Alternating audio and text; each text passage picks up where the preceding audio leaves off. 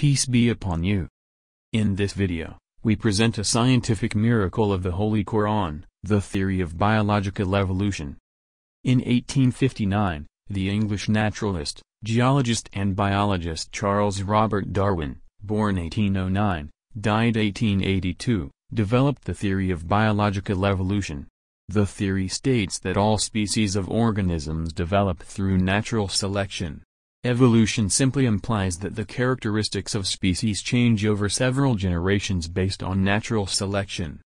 Nowadays, the theory of biological evolution is proven to be a scientific fact and is accepted by the majority of scientists.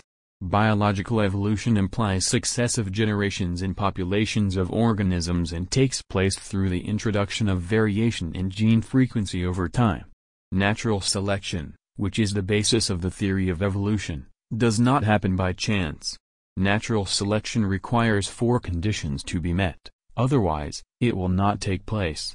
These four conditions are, 1. A variation of organisms within populations, 2. Inheritance from parent to offspring, 3. High rate of population growth, and 4. The difference between survival and reproduction.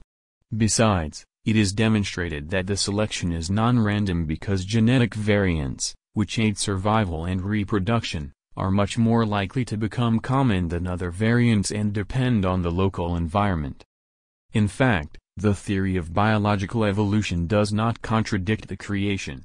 Evolution needs three initial parts to take place. 1. The last universal common ancestor, LUCA, 2. Time and 3. The law of biology. LUCA is the initial organism that had to exist in order to start the process of evolution. Time is also required for evolution. Without time, no evolution will take place.